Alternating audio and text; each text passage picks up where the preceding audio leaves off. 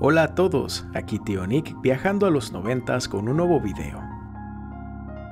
En octubre de 1996 se estrenaba en Nickelodeon Hey Arnold.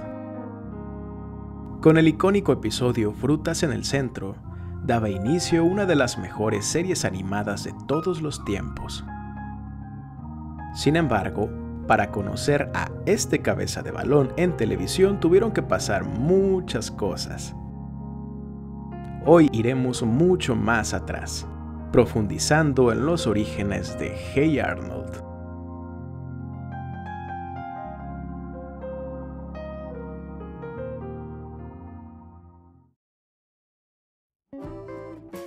Y pensar que todo empezó con plastilina. Durante el verano de 1987, un joven Craig Bartlett lo dejó todo para mudarse a Los Ángeles y dirigir una temporada de la caricatura Penny.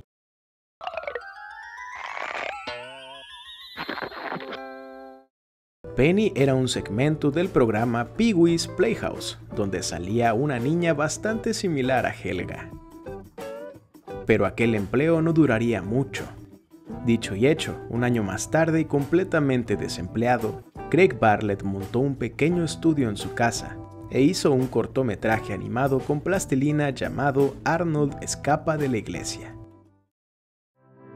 El mundo por primera vez conocería a este simpático niño de gorrita azul llamado Arnold, que poseía una gran imaginación y usualmente soñaba despierto para escapar de su realidad, un completo soñador.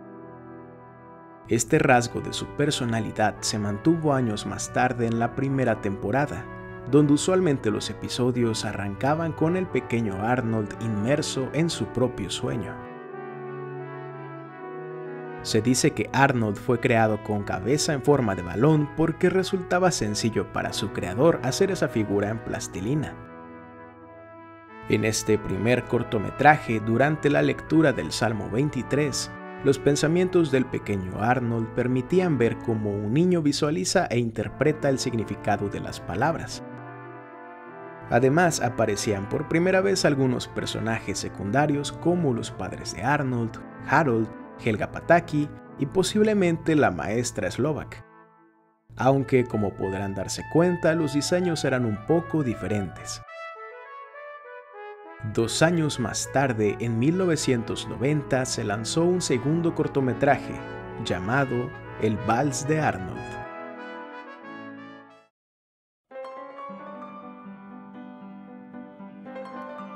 Camino a la escuela en autobús, un nuevo personaje hacía su debut, el de Ronda, con cabello castaño y una blusa color azul. En clases, Arnold se permitía soñar despierto para evitar que las bromas pesadas de Harold lo perturbaran. Durante los ensayos musicales para la banda de la escuela ocurría lo mismo. Arnold en la flauta sentado entre Harold y Helga comenzaba a soñar despierto mientras todos juntos interpretaban el vals de los patinadores de Emil Wolf-Tuffel. En su fantasía, el pequeño Arnold se enfrentaba a una versión gigante de Harold. Finalmente, debía volver al mundo real y lidiar con las prácticas. Un año después tendríamos el tercer y último cortometraje animado de plastilina. En 1991 se estrenó Arnold monta su silla, que se incluyó en un episodio de Plaza Sésamo para ilustrar el concepto de la imaginación. En este corto, Arnold se encontraba a punto de usar su imaginación para despegar a bordo de una silla. Tras abrocharse el cinturón de seguridad, la silla despegó, saliendo de la habitación. Entonces voló en lo más alto, sobre las montañas y a través del mar la silla se adaptaba a diversos vehículos. Hasta que finalmente llegó a una isla donde las tortugas y algunos otros animales festejaron su llegada, saludando al niño con el icónico Hey Arnold. Entonces Arnold pensó que había tenido suficiente y la fantasía terminó. Arnold apareció de vuelta en su habitación y finalmente se desabrochó los cinturones de seguridad. La razón por la que me pareció tan bonito este corto es el mensaje que hay detrás sobre el uso correcto de la imaginación. Y es que usar la imaginación siempre es bueno, pero no hay que olvidarse del cinturón de seguridad y sobre todo nunca perder los pies del suelo por demasiado tiempo. Esto es lo último que veríamos de Arnold por el momento. La era del claymation o animación con plastilina había terminado. Gracias a estos cortos, se habían sentado muchas bases sobre el personaje de Arnold, Harold y Helga, que más tarde veríamos en la serie y de las que hablaré más adelante. De la plastilina, las aventuras del joven Arnold continuaron, esta vez en formato de historietas.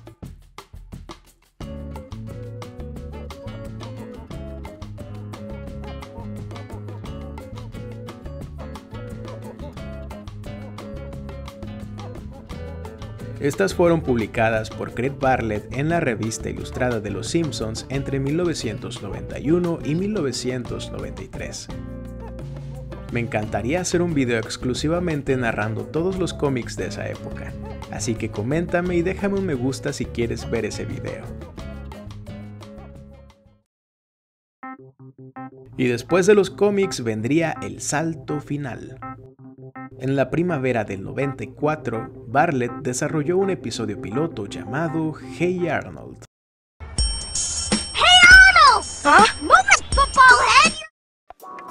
Este episodio presentaba a los chicos jugando béisbol, cuando de pronto Arnold golpeó a Harold con una pelota. Entonces Helga le contó a Harold que fue Arnold quien lo hizo, y Harold amenazó con golpearlo al día siguiente. Arnold intentó buscar ayuda con Gerald, con sus abuelos, pero solo conseguían desanimarlo más, así que intentó descansar. Mientras dormía, Arnold tuvo un sueño en el que actuaba como un loco y asustaba a los bravucones.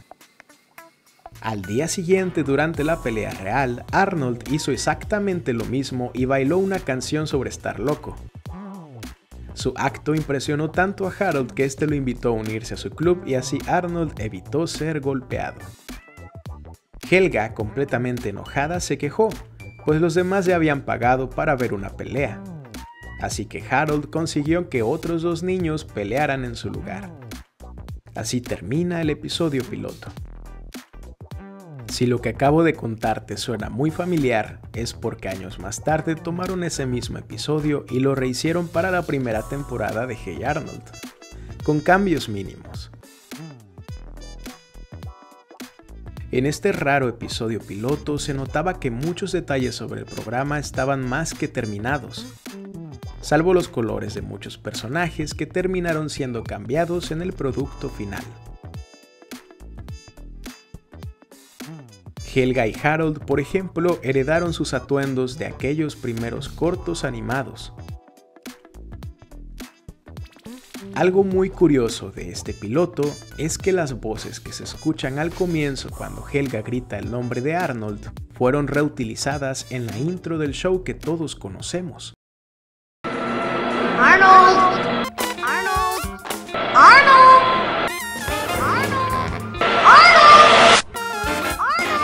Así que de allí venían. Y el resto amigos es historia.